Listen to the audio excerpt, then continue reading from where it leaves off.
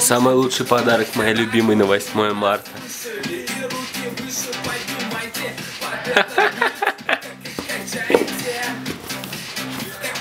Yeah.